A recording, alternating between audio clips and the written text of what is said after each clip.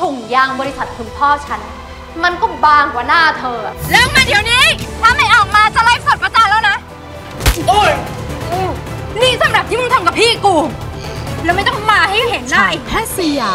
ทุกวันศุกร์เสาร์อาทิตย์ เวลา 20นาฬิกา20 นาที เริ่ม 16 เมษายนนี้ ดูทีวีกด 33 ดูมือถือกด3 plus